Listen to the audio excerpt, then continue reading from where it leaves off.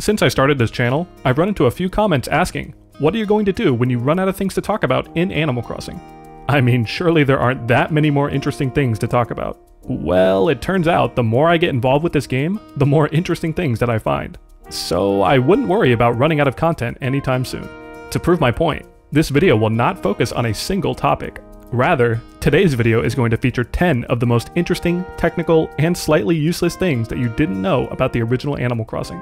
Now, these types of videos have been done before, but I can practically guarantee you'll learn something new from this one. So, let's dive in.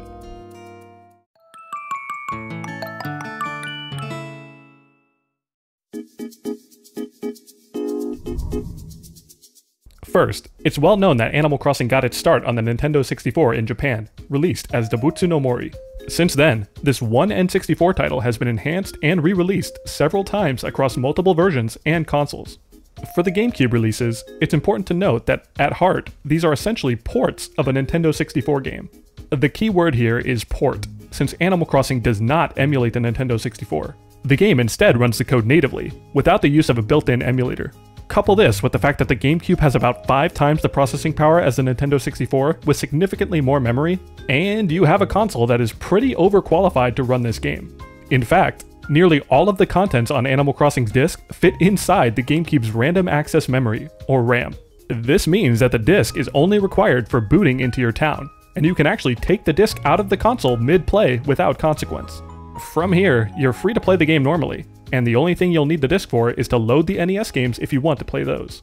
But other than that, you can have fun ejecting your disc mid-game and watch the game still function 100% normally, which is pretty cool.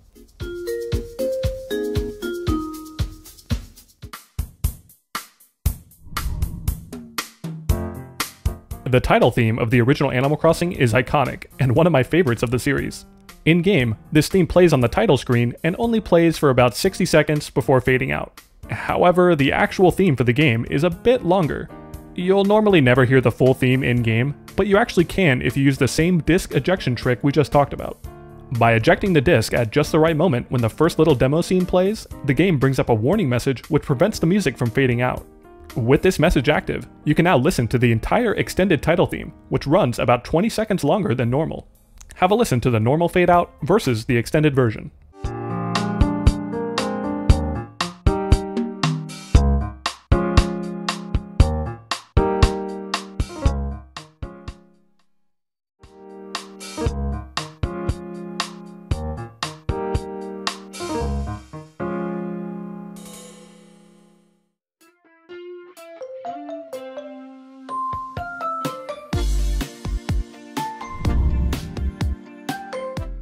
In a previous video, I briefly showed off this gyroid face texture that your player gets when you reset while traveling on the train to another town. This is actually one of the most replayed parts of that video, and I got a lot of comments questioning why it occurs. Contrary to what some may tell you, this is neither a glitch nor a programming bug. This is specifically coded to occur when you reset while visiting another player. In fact, the actual cause for this has been decompiled, and a flag, called player decoy flag, is set to true whenever you load your save without having returned home from your previous session. This flag is responsible for changing your face texture to that of a gyroid, which is actually a normal face type in the game that you can set for yourself if you play around with save editors. To put the final nail in the coffin that this is not a glitch, Nintendo themselves actually acknowledge this gyroid face in the official Nintendo Power Player's Guide of the game. Here, they refer to it as a weird zombie-looking character if you reset while visiting another player. I'm not sure if anyone knows exactly why Nintendo programmed this to occur, but it's likely just a scary punishment to serve as a reminder to talk to your gyroid and always save your game.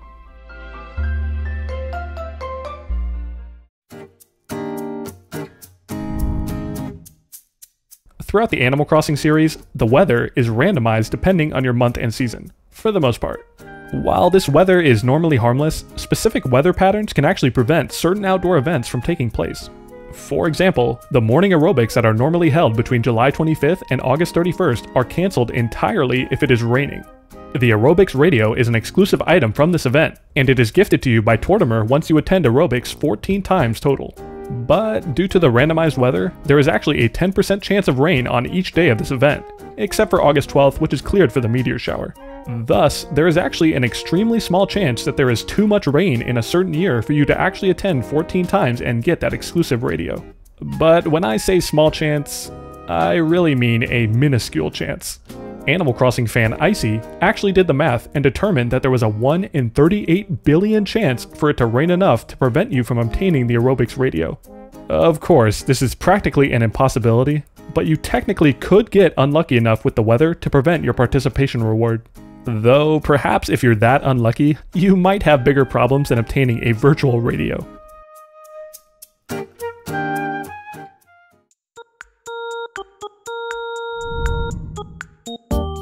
If you're familiar with the Animal Crossing series, you'll likely know that all of the painting items in-game reference real-world paintings. Of course, Animal Crossing is able to get away with this because all of these paintings are works of art that have entered the public domain. However, in the original Dobutsu no Mori, there are actually two paintings that were not yet public domain in certain jurisdictions when the game was released. The novel painting was based on composition with red, yellow, and blue by Dutch artist Piet Mondrian, painted in 1930 and The Dreadful painting was based on The Scream by Norwegian artist Edvard Munch, painted in 1893. For the unfamiliar, in most countries outside of the United States, copyright is typically valid for the entirety of the artist's life plus an additional 70 years, with some exceptions on when this rule comes into effect. Coincidentally, since both Mondrian and Munch passed away in 1944, their works would not enter the public domain in some jurisdictions until 2015. So, likely to prevent potential legal issues, Nintendo replaced both of these paintings in subsequent versions of the first generation of Animal Crossing games.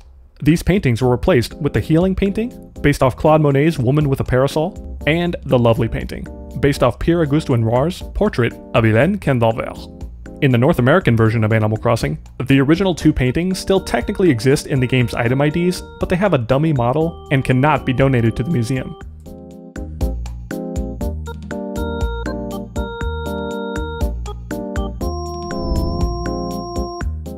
Turns out, there's a special interaction with Resetti exclusive to the Japanese E Plus version of the game. Specifically, in this version, there is new Resetti dialogue for whenever you reset without saving. During one of these new interactions, Resetti will prevent you from quickly progressing the dialogue boxes, so you can't progress them faster by mashing buttons. Instead, he will give you his usual rant slowly, with no way to speed up the dialogue. But, as an easter egg, if you attempt to speed through his rant by mashing buttons, Resetti will actually stop mid-sentence and scream at you to cut it out with all the click-clack-click.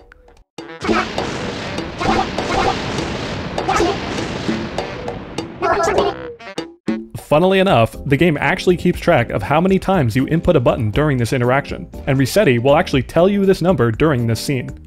Curious on how high this goes, I set up turbo button controls and was able to get Resetti to count over 1,000 inputs during his speech. So if Resetti can truly hear every input, eh, I apologize.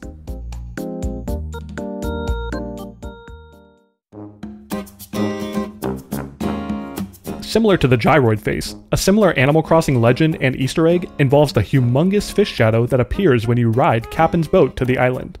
This huge fish has about a 1% chance of spawning, and can normally only spawn in the deep sea, which is way out beyond our own beaches. This fish is actually not a fish at all, and the game's code refers to it as a whale. And since this whale is only coded to spawn in the deep sea, you can normally only see it if you ride Kapp'n's boat out to the island. Naturally, many people early on dismissed the whale as a rumor due to the extremely low odds of ever seeing one. But rest assured, the whale is a very real thing and specifically programmed into the game. And yes, I know what you're thinking. If the whale is treated as a normal fish that can be spawned, then how do we catch this thing? Regulars of this channel may recall a glitch I've discussed before that allows you to get out of bounds by abusing special collision interactions, such as those from snowballs or signboards. So, all we need to do is glitch out of bounds and get lucky with a whale spawn out in the deep sea and finally catch it, right? Well, everything seems to line up here. You are able to walk on water, the fishing rod works perfectly while out of bounds, and the whale spawn is not tied to the Kapp'n boat ride. So, yes, you can actually go out of bounds and see the whale for yourself. However, there's unfortunately one glaring issue. That is, fish spawned outside of rivers, lakes, and the beach acres do not function properly. More specifically, fish spawned in these deep sea acres simply stay in their default animation and do not get spooked or react to your fishing rod lure. This is why, in all videos of the whale, it is a stationary shadow simply sitting there while Kapp'n's boat chugs along. So unfortunately, the whale is not catchable in the base game. even if you get out of bounds with glitches. But for fun, we can modify the game's memory to set any fish we encounter to be the whale. And since these whales are within valid water locations, we can actually catch them. Since they're so large, the area where you need to cast is actually towards the center of the shadow, but you actually can get a bite. And... yeah. Once you catch it, you're greeted to an arapaima and text welcoming you to the Able Sisters. The reason this occurs is likely because the arapaima is the last fish ID in the game, and the game simply defaults to certain values. So the whale is a pretty neat easter egg, but unfortunately there's no whale texture or item, only the shadow size and spawn location.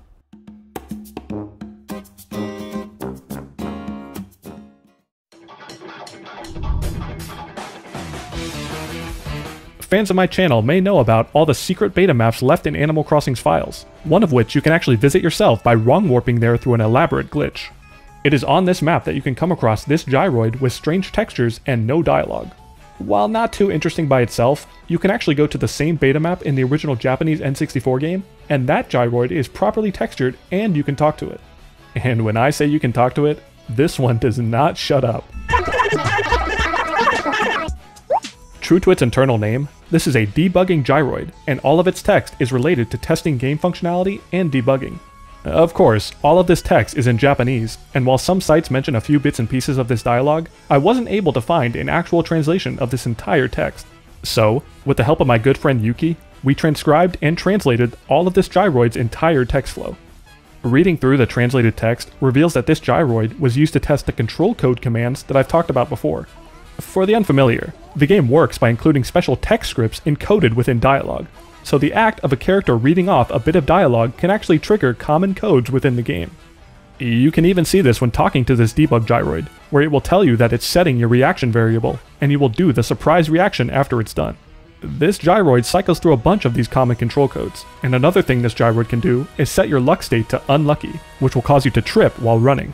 From this, I actually learned that tripping in the snow leaves a little impression of your entire character in the snow, which is super funny. Uh, further, while noted before, this gyroid also mentions Sega's Dreamcast and Sony's PlayStation 2 consoles as testing string variables, which is pretty interesting to see in a Nintendo game. If you're curious on the entire text flow of this debug gyroid, I've linked the translated document in the description.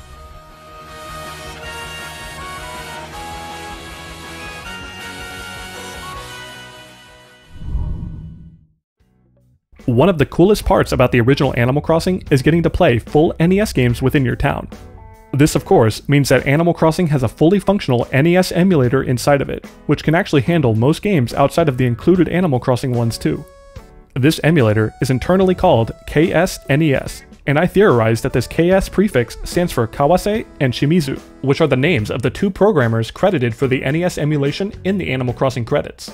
A lot of people tie this emulator specifically to Animal Crossing, but it is also used in Metroid Prime to play the original Metroid, and in games like Zelda Collector's Edition, where you can play the original NES games. This means that this is indeed a standalone emulator that can be taken out of the context of Animal Crossing. Unfortunately, after understanding more about how the emulator works, not every released NES game is supported here. See, as the NES matured, the games naturally got more complex, you can clearly see this with the original Super Mario Bros. compared against Super Mario Bros. 3. Despite releasing on the same console, Super Mario Bros. 3 runs laps around the original in terms of gameplay, graphics, and complexity. The reason why such a leap was possible was due to special mapper chips that were included inside game cartridges. Since the basic NES hardware only supports 40 kilobytes of ROM data, these chips essentially extended the amount of ROM data each game can hold by splitting the ROM into separate chunks. These chunks, officially called banks, would then be swapped in and out of the NES CPU address map whenever they are needed by the game. This way, you can hold more data on the actual cartridge, but not go over the limitations of the actual console. This process is called bank switching, and was an incredibly ingenious way of bypassing the limitations of the NES. The only issue is that these mapper chips that allow this to happen are on the cartridges themselves, so emulating the NES and supporting a variety of games also requires supporting all of the mapper chips. And there are quite a lot of these chips. But what does this have to do with Animal Crossing?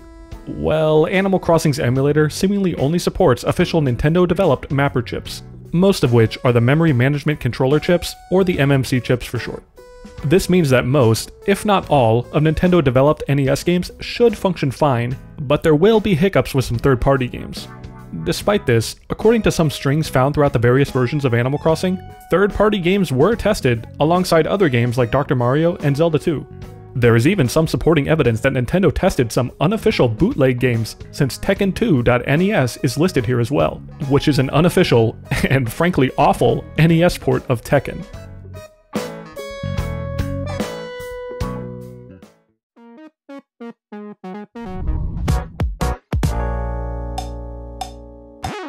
Finally, last video I detailed how you can abuse e-reader cards to get any valid Animal Crossing ID in your inventory. I was a little vague on the possibilities here, but these IDs are not limited to just items, furniture, or clothes. You can actually gift yourself entire buildings, trees, and special objects which all fit in your pockets. Most of these IDs default to other textures in the inventory, but if you drop them and reload the acre, the objects should appear in your town. This means you can actually put things like the museum or Nookington's in your inventory and simply plop them in your town. And yes, these buildings are fully functional, and they will remain there so long as you do not place them in an area that overlaps with another building or is too close to one. One of the most interesting things you can have in your inventory is item ID 4080, which corresponds to an invisible warp object. Dropping this warp on the ground and walking into it will take you to your previous position whenever you last reloaded your town map. So naturally, if you haven't reloaded your town by entering and exiting a building yet, then the default warp is, you guessed it, the first beta map in the game. So I guess we technically have another way to get there, albeit with some external help to get the warp item in your inventory. Perhaps more interesting, we can actually use this item to return where no man has returned from before. As long as you have the warp object in your inventory, you can abuse the debt payment glitch to wrong warp to the beta map, and then, once there, you can place down the warp object from your inventory to actually get back to your hometown. Hmm, perhaps there's a way to manipulate where this warp takes you further, but if there is, I couldn't figure it out. Maybe one day though.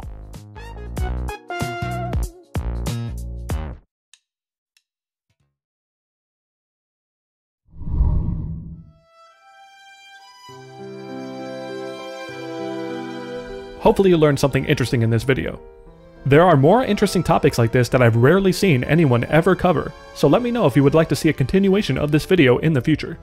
I'd also like to take this time to give special thanks to Phil, Kyler, Icy, Yuki, AlexBot2004, Hole-in-One Luigi, the Nookopedia team, and the Cutting Room Floor for assisting in the discovery of some of the trivia in this video. Further thank you goes to my Patreon and YouTube members for their financial support of this channel, including Lunascape, Inferno Wrath, Lorenzo, Cass, Cynthia, Tyrant Link, Mentis98, Silly Marina, Villager, Hornet, Tarumi, Vinny Diddy, Pidge01, Kai D, and Comfy Boy 404. And as always, thank you all for watching. Until next time.